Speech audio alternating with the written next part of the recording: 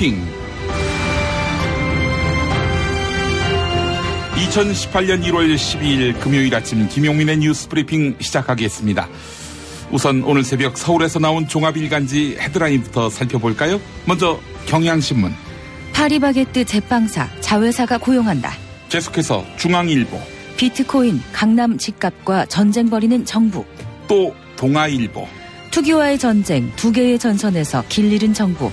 강남 집값은 통제불능에 가상화폐는 대혼란이다. 그리고 세계일보.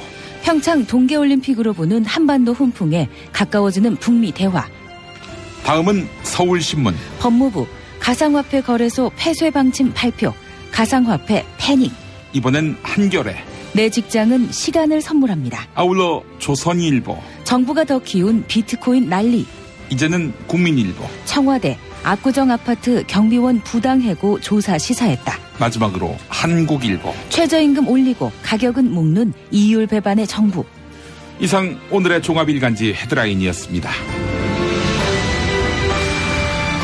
1월 12일 김용민의 뉴스 브리핑 김용민입니다. 안녕하세요. 성우 은정입니다. 은정 씨, 정부가 가상화폐 거래소 피해세 방침을 밝히면서 가상화폐 투기와의 전쟁을 벌이는 것. 여기에 신문들이 주목하고 있네요. 네, 그렇습니다. 오늘 중앙일보, 서울신문, 조선일보, 동아일보가 일면 헤드라인으로 꼽았네요. 가상화폐 투기 광풍. 정말 걱정되지요. 유독 한국에서 투기 광풍이 심하다고 하는데요. 경향신문 사설을 보면 대학생부터 주부, 70대 노인까지 묻지마 투자에 나서면서 하루 종일 가격 동향만 살피는 가상화폐 좀비들이 300만 명이 넘는다. 이런 내용이 있습니다. 한국에서 거래되는 가상화폐는 국제 시세보다 30에서 50% 비싼 김치 프리미엄으로 미국 가상화폐 정보업체가 가격 통계에서 제외할 정도라고 합니다. 시장 규모도 코스닥을 능가할 정도로 커졌는데요. 누가 봐도 투기이면서 거품을 우려할 수밖에 없는 상황이다. 이렇게 진단하고 있습니다. 가상화폐 거래 시장이 돈 놓고 돈 먹는 거대한 투기판으로 변질된 데는 그동안 규제 사각지대로 방치해온 정부와 금융당국의 책임이 크다. 경고음이 수차례 울렸는데도 손을 놓고 있다가 거래소 피해세라는 극약 처방까지 거론한 것은 뒷북 대책의 전형이다. 경향신문은 이렇게 비판했습니다. 그러면서 정부가 가상화폐 거래에 세금을 부과하고 거래소를 인가제로 바꾸면서 연착륙을 유도한 일본과 영국, 독일처럼 근본적인 대책 마련에 주력해야 한다. 지금 필요한 것은 가상화폐 투기 광풍을 막을 적절하고도 질서 있는 출구 전략이다. 이렇게 짚었습니다. 자, 여러분은 박상기 법무부 장관이 거래소 피해수의 방침을 밝혔고 청와대가 정부 차원에서 조율된 입장은 아니다. 아, 이렇게 부인하는 여러 혼선들을 보시면서 어, 떤 생각을 갖고 계십니까? 또 거래소 피해수에 대한 여러분의 뜻은 어떠한지 의견 보내주시기 바랍니다. 김용민의 뉴스 브리핑 문자 의견 참여 방법은 샵 1035 단문 50원 장문 100원이고요. SBS 고릴라는 무료입니다. 아 어마어마한 한파가 계속되고 있습니다. 주말 날씨까지 묶어서 기상청의 백혜영 리포터가 자세히 날씨 알려드립니다. 네, 오늘 춥다라는 말이 부족할 정도로 한파의 기세가 대단합니다. 현재 대부분 지역에 한파주의보가 발효된 데다 경기 북부와 강원도, 대전을 비롯해 충청과 전남, 경북 곳곳에는 한파 경보까지 내려지면서 강추위가 기승을 부리고 있는데요. 지금 서울도 영하 14.9도, 체감 온도는 무려 영하 20.4도까지 떨어져 올 겨울 들어 가장 춥습니다. 오늘 나오실 때 두툼한 외투는 물론 목도리와 마스크 등으로 추위 대비 잘해 주셔야겠습니다. 이 추위 속에 호남 서해안과 제주도엔 대설특보가 내려져 눈이 내리고 있습니다. 오늘 낮까지는 눈이 좀 더 이어지겠고요. 그 밖에 서울을 비롯한 대부분 지역은 대체로 맑은 하늘을 볼 수 있겠습니다. 오늘 한낮 기온은 서울, 인천, 파주 영하 6도에 머물겠습니다. 이번 한파는 주말인 내일 오전까지 계속되다가 낮부터는 평년 기온을 회복하겠습니다. 기상정보였습니다. 다이어트를 위한 꿀팁. 동결건조 채소와 곡물, 단백질, 그리고 효소와 비타민, 미네랄로 만든 다이어트 전용 그린 스무디로 하루 한두 끼만 바꿔 드세요. 비타샵에서 만나요. 노력한 만큼 내어주는 자연. 그 자연의 마음을 알기에 정성농장 홍삼. 검색창에서 정성농장 홍삼을 검색해 주세요. 010-9754-6972 허리가 아파요. 아, 아랫배가 나와요. 골반이 바로서야 건강도 아름다움도 바로섭니다. 바디로직을 입으세요. 토크밴드의 입체적인 탄력이 틀어진 골반을 바로잡습니다. 간편하고 확실한 골반 교정 타이즈. 바디로직. 야, 근데 홍어가 진짜 그렇게 몸에 좋아? 아니 끝내준다니까. 근데 비싸지? 열라 싸고 열라 맛있는 홍어가 있다니까. 어디? 알싸한 홍어. 네이버 검색창에 알싸한 홍어를 검색하시고 1599-6456 전화 주문도 가능합니다. 학교에서는 어휘 개념을 하나하나 설명해 줄 시간이 정말 부족하잖아요. 그럼 어떡하죠? 어휘 공부의 정석. 초등어휘 3천, 초등어휘 5천. 검색창에 초등어휘 3천을 쳐보세요. 바보 멸치, 바보 멸치. 저 바보 멸치는 멸치도 맛있는 생선임을 증명하겠습니다. 무염 바보 멸치와 바보 국물팩은 포털에서 바보 멸치를 검색하시거나 02-587-3599로 전화주세요. 일하는 사람들의 정치 시대를 여는 민중당 민중의 직접 정치를 실현하는 민중당 광장의 주인에서 정치의 주인으로 민중당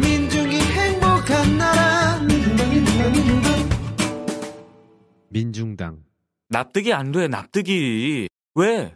막 응? 그냥 먹지? 좋아? 미궁 유산균 사랑! 빵빵한 너에게 민감한 너에게 매일매일 너에게 약해진 너에게 미궁 대장사랑 두 번째 헌정 제품 미궁 유산균 사랑 출시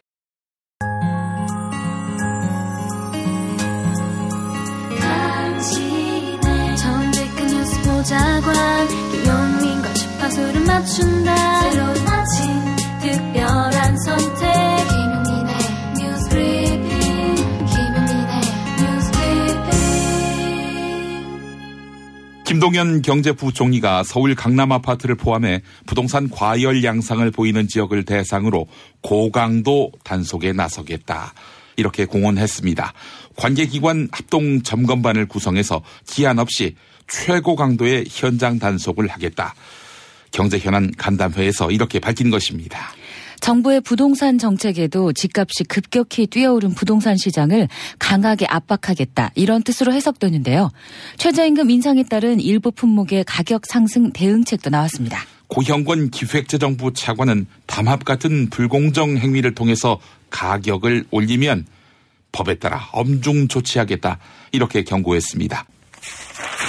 현대차의 자동차 시트를 납품하는 업체 다스는 이명박 전 대통령이 실소유주 아니냐 이런 의혹을 받고 있죠. 다스의 비자금 의혹을 수사하고 있는 검찰이 다스 본사와 다스의 전직, 현직 경영진 자택을 전격 압수수색했습니다. 이명박 전 대통령의 큰형 이상은 다스 회장과 김성우 전 다스 대표 그리고 120억 원 횡령의 당사자죠. 말단 격리 직원 조모 씨의 자택도 압수수색 대상에 포함됐습니다. 2008년 당시 정호영 특검, 이른바 꼬리곰탕 특검은 120억 원 횡령이 격리 직원 조 씨의 단독 범행이다 이렇게 결론 냈었죠. 하지만 최근 다스의 전직 직원들은 당시 특검에서 비자금의 존재를 알았고 심지어 이를 덮을 수 있는 방법을 검사가 지도해 주었다. 이렇게 증언하고 있습니다. 어제 검찰의 압수수색이 있기 하루 전 더불어민주당의 적폐청산위원장인 박범계 의원은 검찰의 엄정한 수사를 당부한 바 있습니다. 지난 수요일 더불어민주당 최고위원회의에서 있었던 발언 들어보시죠. 특검의 말을 설사 인정을 하더라도 5년 동안 회계를 격리를 담당한 여직원이 무려 110억 원을 횡령한 것을 사장인 김성우 씨가 몰랐다. 권모 전무가 몰랐다. 이게 특검의 판단입니다. 참 기가 막힐 일입니다. 속아오실 일입니다. 서울 동부지검 수사가 공소시효가 얼마 남지 않았습니다. 수사가 묻힐 가능성이 매우 높습니다.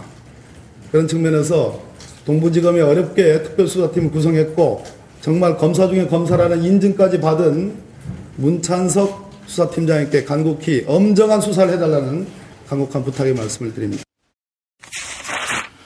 고 김재정 씨는 이명박 전 대통령의 처남이자 다스의 최대 주주였는데요. 2010년 그가 숨졌습니다.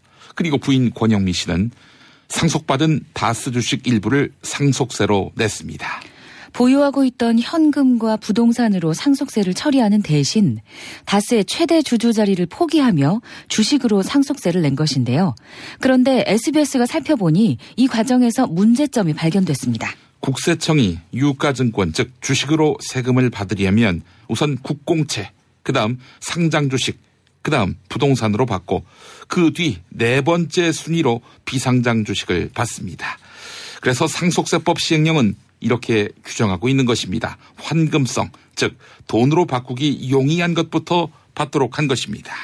그런데 부인 권영미 씨는 상속세 신고 기한 마지막 날 부동산의 근저당을 설정했습니다. 부동산이 저당 잡히면 팔아서 돈으로 바꾸기 어렵기 때문에 물납 대상에서 제외되는데요. 부동산이 상속세 물납 대상이 되는 걸 피하기 위한 조치로 보이죠? 이들 부동산 가운데 한 곳의 이전 소유자, 바로 전 주인은 이명박 전 대통령이었습니다. 한편 상속세 납부와 관련해 다스에서는 대응 방안을 마련했습니다.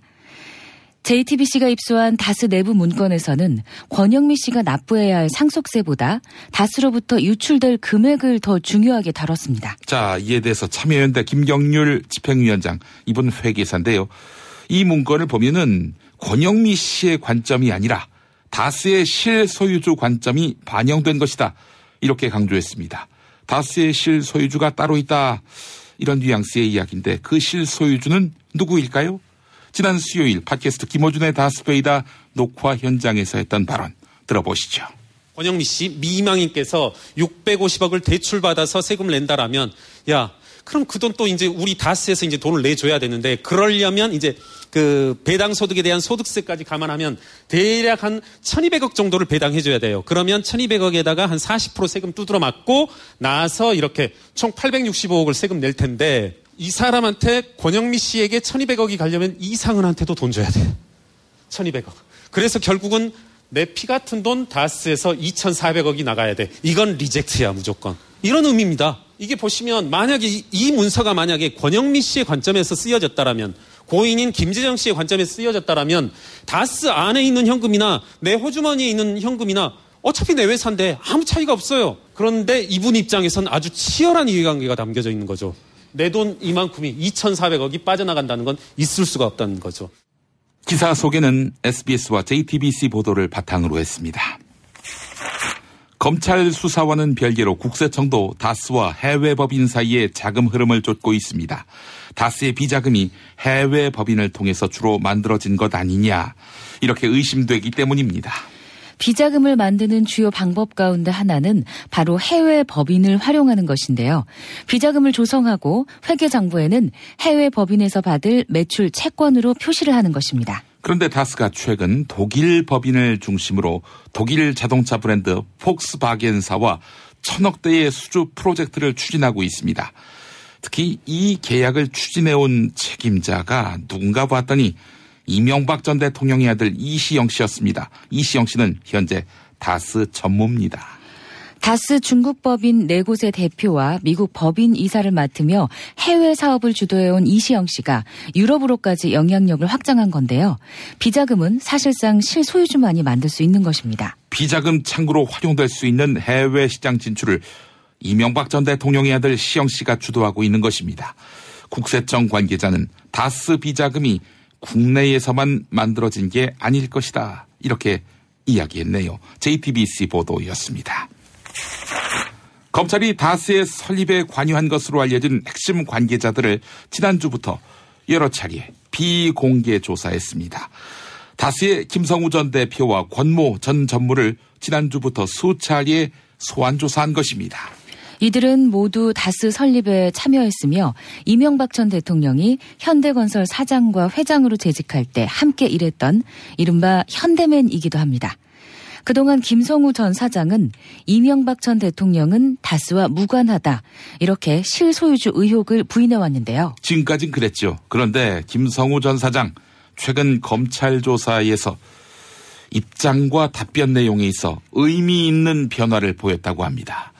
최측근 인물들의 진술에 따라 다스 수사가 급물살을 탈 전망이라고 JTBC가 보도했습니다. 이명박 전 대통령이 퇴임한 직후 다스 임직원의 컴퓨터 하드디스크가 모두 교체됐다. 이런 증언이 나왔습니다. 2013년 2월 이명박 전 대통령의 퇴임 직후 다스는 회사의 컴퓨터 속 하드디스크를 한꺼번에 교체했는데요. 다수 관계자는 이전에는 단 한 차례도 컴퓨터 하드디스크를 교체한 적이 없었는데 이례적인 조치였다. 이렇게 이야기했습니다. 다른 관계자는 하드디스크를 교체하는 것을 보면서 회사 내부에서도 실소유주 논란이 다시 거론됐다. 이렇게 전했습니다. 검찰도 하드디스크 교체와 관련한 진술을 다스 관계자로부터 확보한 것으로 확인됐습니다. 채널A 보도였습니다. 2008년 당시 정호영 특검은 이명박 전 대통령이 실소유주라는 의심을 받는 다스와 BBK에 대해서 수사를 진행했지요. 현재 정호영 전 특검은 당시 다스의 비자금 120억 원의 존재를 알고도 기소하지 않아서 특수 직무유기 혐의로 고발된 상태입니다. 그런데 최근 정호영 전 특검은 일체의 자료를 하나도 빠짐없이 검찰에 인계했다 이렇게 주장했습니다. 자신의 특수 직무유기 혐의에 대해 120억 원과 관련된 자료를 넘겼는데 검찰이 이를 수사하지 않은 것이다 이렇게 변호한 셈인데요. 당시 검찰 최고 책임자가 임채진 전 검찰총장이었거든요. 자, 임채진 변호사 뭐라고 답하고 있을까요? 다스비 자금 120억과 관련해 특검한테서 그 어떤 것도 넘겨받은 사실이 없다 이렇게 밝혔습니다. 또한 당시 특검이 검찰의 이송이나 이첩 그리고 수사 의뢰 가운데 어느 것도 한 사실이 없다 이렇게 덧붙였습니다. 임채진 전 검찰총장은 혹시 자신의 기억이 잘못됐을 수도 있다는 생각에 당시 검찰 주요 간부들에게도 사실 여부를 일일이 확인했는데요. 이들 모두 전혀 모른다. 이번에 뉴스를 보고 알았다. 이렇게 전했다고 합니다. 근데요, 정호영 특검이 만약 검찰에다가 이송이나 이첩, 수사 의뢰를 했다면 당시 검찰 제대로 수사할 수 있었을까요? 이명박 대통령 집권 초기인데요. 검찰 핵심 관계자는 당시 정호영 특검이 수사 기록을 정식 이첩하지 않고 차에 실어서 검찰 서고로 보냈다. 이렇게 밝혔습니다. 한겨레 보도였습니다. 다음 소식입니다. 이명박 정부에서 사실상 원전 수주를 대가로 체결한 아랍에미리트 비밀 군사 협정이 논란이 되고 있죠. 비밀 군사 협정에는 한미 상호 방위 조약에도 포함되지 않은 유사시 한국군 자동 개입 조항이 포함되어 있는 것으로 드러났습니다. 이를 두고 국회의 비준 동의가 필요한 사안을 몰래 진행한 것으로 헌법 위반이다. 이런 지적이 나오는데요. 그런데 김성태 자유한국당 원내대표가 비밀 군사협정을 옹호하고 나섰습니다. 원전 수주를 위해서 국가로선 할 역할을 다했다고 본다. 이러면서 이명박 정부를 두둔했는데요. 이어서 협정 비공개를 무조건 잘못된 것이라고 하면 대한민국이 제대로 된 국가 간 프로젝트를 따낼 수 있겠는가 이렇게 덧붙였습니다. 자유한국당 나경원 의원 역시 이명박 정부를 옹호했는데요. 더불어민주당 박영선 의원과 설전을 벌이며 나경원 의원은 이명박 정부는 칭찬받을 일을 한 것이다 이렇게 주장했습니다. TBS 라디오 김어준의 뉴스공장에 출연한 더불어민주당 박영선 의원과 자유한국당 나경원 의원의 발언 차례로 들어보시죠. 그거 아니죠. 임원 계약서가 있었다는 것은 이미 이명박 정부 시절부터 알려졌던 것이고 아니. 그리고 군사를 보낸다는 거는 국회 동의를 받아야 되는 것인데 그 부분은 이 계약서 봅니다. 자체가 어, 대, 대한민국을 개인 회사처럼 운영할 수 있다는 그러한 가치에서 나왔다는 대표적인 저는 사례다. 이거 굉장히 그 심각한 일이다. 하지 않았으면. 네. 사실상 우리가 프랑스를 이기고 원전을 수주하기 어려웠고요. 그런 이 이면 그런 계약서 그 부분이 군사 협정 문제는 동의를 받지 않았지만 만약에 그래 아니, 그래야 되는 상황이면 그 당시에 국민들한테 이 군사 협정과 관련된 부분에 관해서 동의를 구했어야 되는 거고요. 아니, 저도 그랬으면 네. 더 좋았을 거라고 생각하지만 네. 파병의 경우에는 별도의 국회의 동의가 반드시 필요하기 때문에 저는 이러한 정도의 어떤 협정을 통해서 사실상 원전을 수주했다는 것은 이명박 정부가 지탄받을 일이 아니라 오히려 이 부분은 칭찬받을 일이라고 생각을 그러니까 합니다. 이번 비밀 군사협정 의혹을 밝혀낸 정의당 김종대 의원은 이명박 정부가 체결한 비밀 동맹협정은 부당거래며 청산해야 할 적폐다 이렇게 단언했습니다. 또한 국익증진이 아닌 중동 분쟁의 잘못된 개입을 초래하는 지정학적 재난이 될 것이다 이렇게 우려했는데요. 그런데 자유한국당 백승주 의원은 이명박 정부의 원전 수준은 일종의 절충 교역이었다. 이렇게 반박하고 나섰습니다. 절충 교역이란 국제 무기 거래에서 군용 물자와 직접 관련이 없는 반대 급부를 제공하는 것을 말하는데요. 즉 한국이 군사 지원을 약속하고 아랍에미리트로부터 반대 급부로 원전 수주 계약을 맺었다는 이야기입니다. TBS 라디오 색다른 시선 김종배입니다에 출연한 국방차관 출신의 자유한국당 백승주 의원의 말 들어보시죠. 대규모 거래할 때 국가 간의 어떤 계약이 이루어지는 것을 절충 교육이라 그럽니다. 네. 절충 교육 에 어떤 국방 협력이 들어가는 것 같고요. 네. 이런 부분 예를 들면 우리가 93년에 미테랑 대통령이 프랑스의 떼제베를 한국에 수출하기 위해서 한국을 방문해요. 네. 당시 김정삼 대통령을 만나서 외 규장각 도서를 반환하겠다는 제안을 하면서 그 고속철 수주를 하려고 하죠. 네. 국가 간의 거대한 상업적 계약을 할 때 그, 그 계약 내용과 다른 분야의 어떤 여러 가지 국가 간의 교역을 한 거, 우리가 이걸 전문 용어로 절충 교육이라 그러는데. 파일!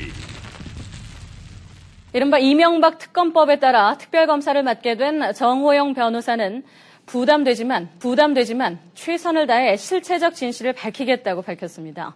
그래서 수사의 결론은 정호영 특검팀이 이명박 당선인에 대해서 사실상 무혐의 결론을 내린 것으로 보입니다.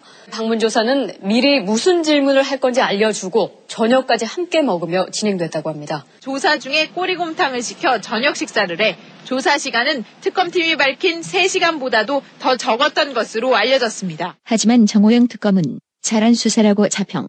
우리가 의도했던 충분한 조사의 목적은 성공적으로 달성했다는 자평을 조심스럽게 해봅니다. 그러나 김경준 변호인은 박찬종 변호사 하기 싫은 수사를 했다는 특검팀의 발언을 폭로. 수시로 우리가 하고 싶어서 이 일을 하느냐 이런 나약한 태도를 보였고 이명박 당선자의 삼청각의 그 형식적 조사는 요식 행위에 불과한 것이다. 그렇다면 정호영 특검의 이 말도 의심할 수밖에. 수사에 임함에 있어 필요한 모든 증거에 관하여 조사하고 후에 왜 이 부분을 조사하지 않았나 하는 부분이 없도록 한다는 방침을 정하였습니다. 2008년 정호영 특검 당시 수사팀이 100억 원 이상의 비자금을 발견했다는 의혹이 꾸준히 제기돼 왔습니다. 당시 특검팀이 다스의 자금 흐름을 쫓다가 비자금을 발견했는데 이 사실을 공개하지 않았다는 내용입니다. 네, 정호영 특검이 120억 비자금이 이명박 당선자와 관계 없다고 잠정 결론 낸 시점은 2월 초순입니다.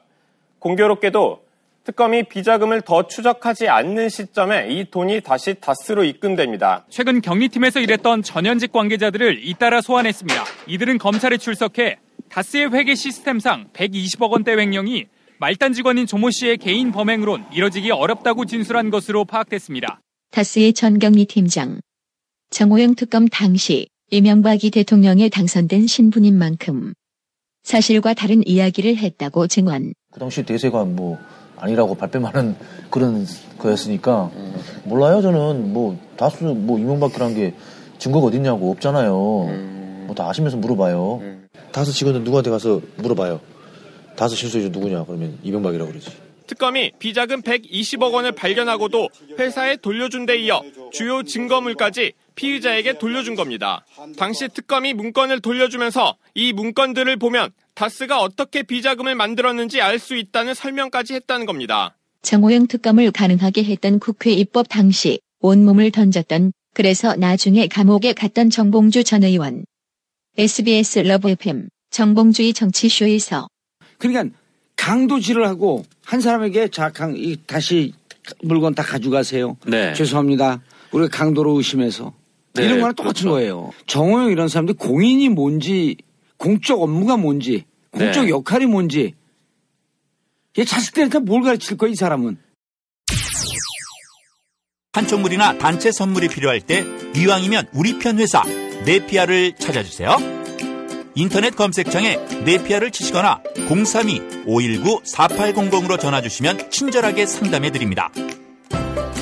그런데 상품은 뭔가요? 네피아를 가서 고르세요. 3만 가지가 넘는 물품이 있어요. 술친구 먹으면 술자리에서 완전 날아다니잖아. 음주 생활의 퀄리티가 달라진다니까. 이 연말 회식도 술친구만 있으면 걱정 없어. 연말 회식 절대 강자 술친구. 술친구 공식 쇼핑몰 회원만을 위한 추가 증정 이벤트를 확인하세요. 뉴트리션 닥터스에서 만든 콜라겐 몰라요? 콜라겐이라고 다 같은 콜라겐이 아니에요. 체내 흡수가 잘 되는 저분자 PC 콜라겐이거든요. 약국에서 찾으세요. 뉴트리션 닥터스는 약국식품 전문 기업입니다. 문의 전화 1688-5807, 1688-5807. 안녕하세요. 사과나무 인슈 대표 박재현입니다. 타인의 과도한 권유로 시작된 보험의 적폐, 중복가입, 그만둔 설계사, 계속 오르는 보험료. 이제는 내 스스로 청산할 때입니다. 정직한 사람들이 만드는 바른 보험 사과나무 인슈는 검증된 통계를 바탕으로 한 알파고급 보장 분석을 통해 보험 불만 제로에 도전합니다. 내게 맞는 보험을 직접 리모델링 하세요. 1877-6604 바른 보험 사과나무 인슈 입맛 없으신 부모님, 공부하는 우리 아이들 야식거리, 손님 맞이 음식까지 참 걱정이네 걱정이야. 이제 이런 걱정 끝! 믿을 수 있는 남도 먹거리 쇼핑몰이 있으니까요. 전통 방식 그대로 100% 한우 나주곰탕과 현미 쌀국수로 가족의 건강을 책임집니다. 다음 포털에서 남도 먹거리를 검색하세요. 생활인을 위한 꿀팁. 집 두 채에 월 만 원 화재보험 카페. 화재, 화재 배상, 심지어 도난 피해까지. 여기에 더해 가전제품 고장 수리비까지. 연중 무휴라 언제든 02849-9730. 술자리 많은 요즘 3차까지 달린 당신을 위한 필수품. 전창걸의 새싹 땅콩차. 이제 속쓰림은 잊으세요. 070-8635-1288. 070-8635-1288. SBS 러브 FM 김용민의 뉴스 브리핑 여러분의 의견과 함께하고 있습니다. 도착한 의견 좀 소개해 보겠습니다. 박석현님, 국가는 국민의 자산을 보호하는 의무가 있으므로 피해보는 국민들을 최소화하기 위해서라도 규제가 필요하다고 봅니다. 불법이 드러난 거래소는 투자자에게 돈을 모두 반환하고 폐쇄해야 한다고 생각합니다. 아, 극약 처방이 필요하다 이런 말씀인 것 같습니다. 최석현님, 흑수저의 희망이라는 가상화폐. 흑수저들의 올가미가 되지 않을까 우려스럽습니다. 피해 수혜까지는 아니더라도 강한 제재와 규제가 반드시 필요하다고 봅니다. 라고 해주셨습니다. 강석주님, 가상화폐 거래로 일확천금을 노리는 분들이 늘어나면 우리 사회에서 성실과 근면한 삶의 모습이 사라질까 걱정입니다. 라고 해주셨습니다. 8672번 쓰시는 분, 전 비트코인에 대해 잘 모르지만 세상에 공짜는 없다. 이 말은 잘합니다. 노력 없이 벌 수 있는 돈은 없습니다. 일확천금의 망상에서 깨어나는 것이 답입니다라고 하셨습니다. 가장 정의로운 사회는 특정 이념 세력이 집권하는 사회라기보다는 땀 흘려 일하는 사람이 노력한 만큼의 대가를 정직하게 받는 사회라 하겠죠. 언론의 암흑기. 당신의 뉴스 길라잡이. 김용민 브리핑. 생방송 청취 방법은 SBS 애플리케이션 고릴라의 러브 FM, 지상파 FM 라디오로는 서울 인천 경기 103.5, 부산 105.7, 창원 90.9로 함께 하실 수 있습니다. 대한민국 최고의 뉴스 전달자 김용민 그를 월요일부터 금요일까지 아침마다 만나보세요. 국제올림픽위원회 IOC 토마스 바흐 위원장이 스위스에서 남북올림픽위원회 위원장 그리고 평창올림픽 조직위원장이 참석하는 사자회의를 주선했습니다.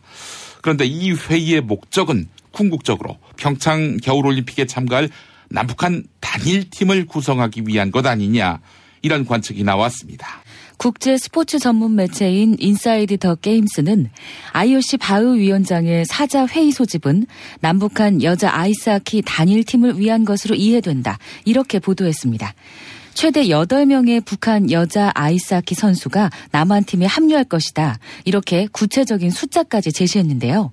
이어서 여자 아이스하키 단일팀 외에도 공동 입장과 선수단 구성 문제를 회의에서 논의할 것이다. 이렇게 전했는데요.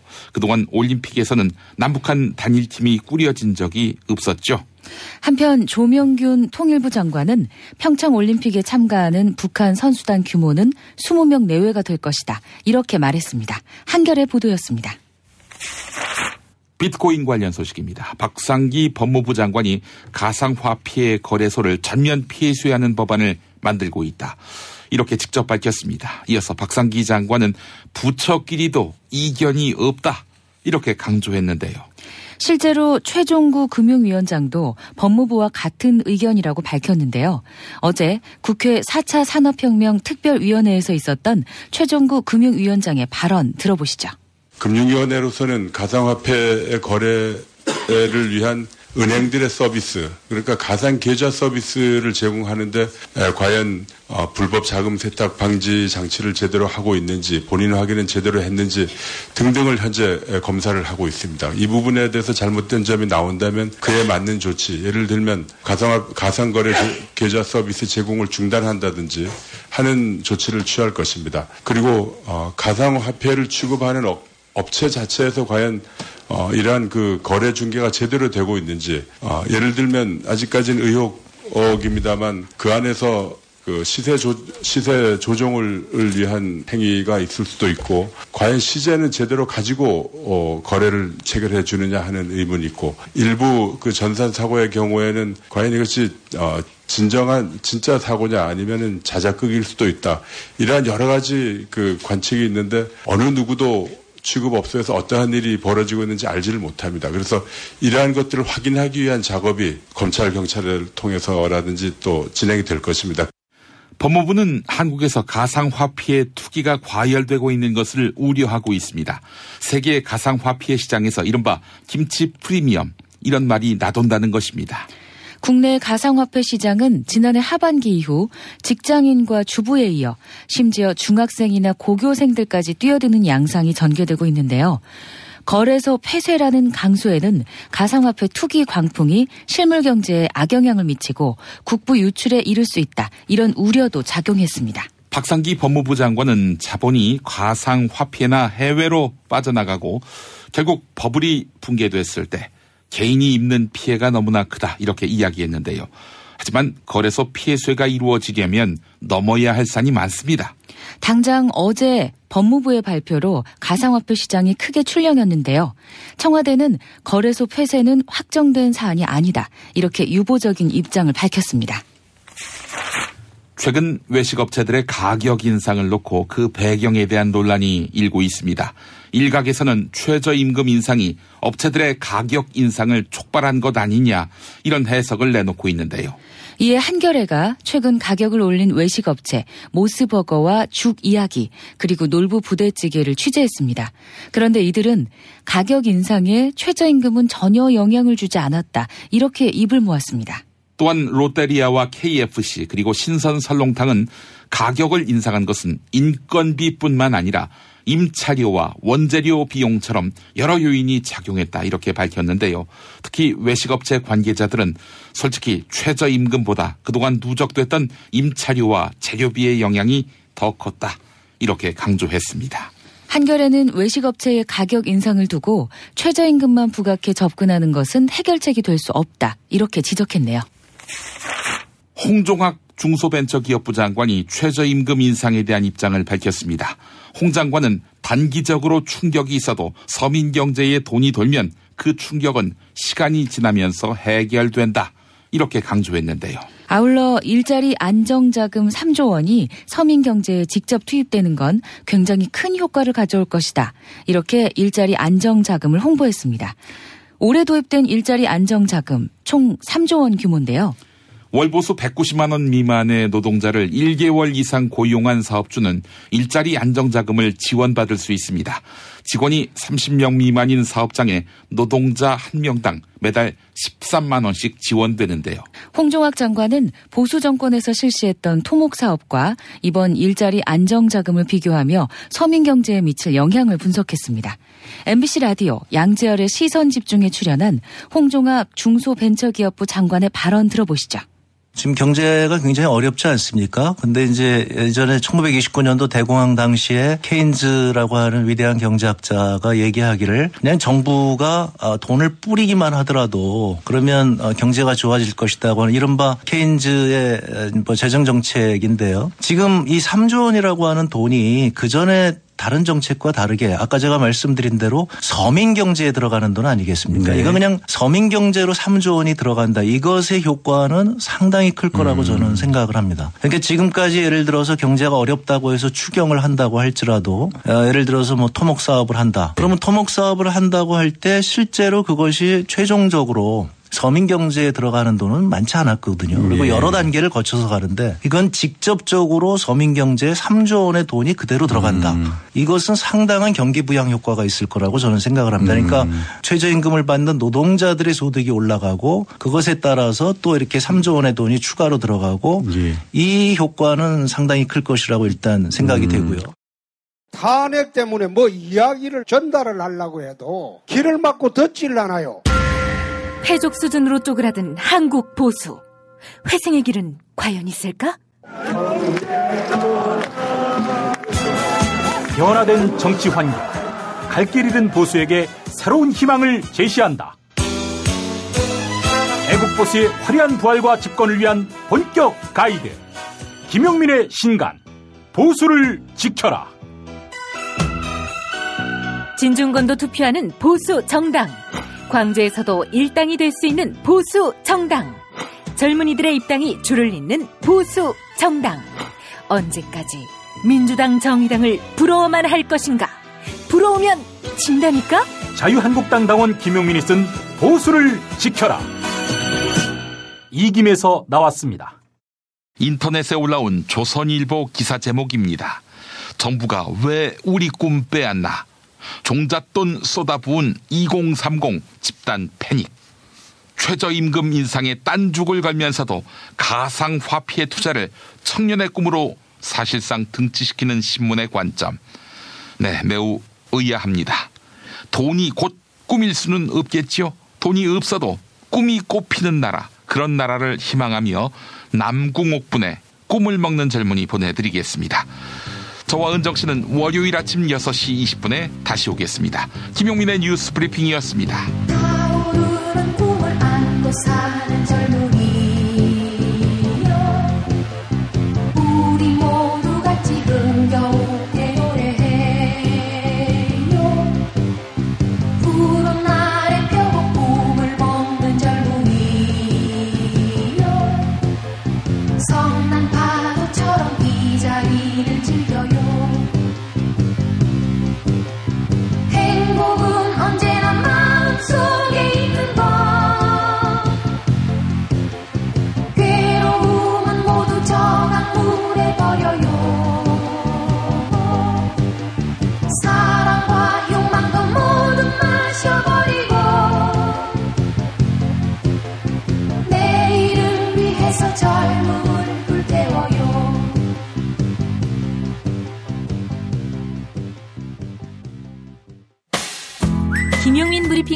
시간 어떠셨어요? 다음 시간에도 보다 바르고 알차며 즐거운 정보로 여러분을 찾아가겠습니다. 팟캐스트 포털 팟빵에서 다운로드하기, 구독하기, 별점 주기, 댓글 달기로 응원해주세요. 잊지 마세요. 다운로드하기, 구독하기, 별점 주기, 댓글 달기.